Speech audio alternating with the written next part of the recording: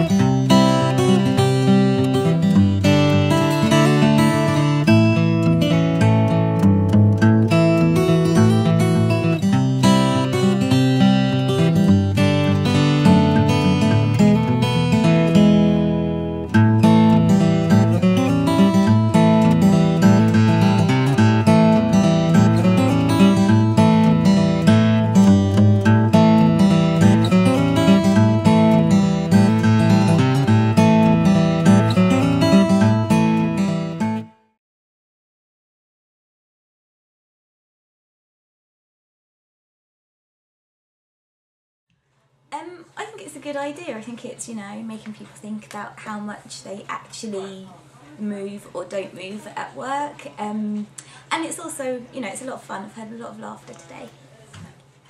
You've climbed the stairs 14 times already today, but you also climbed the stairs to take us to the top of Table Mountain. How does that feel?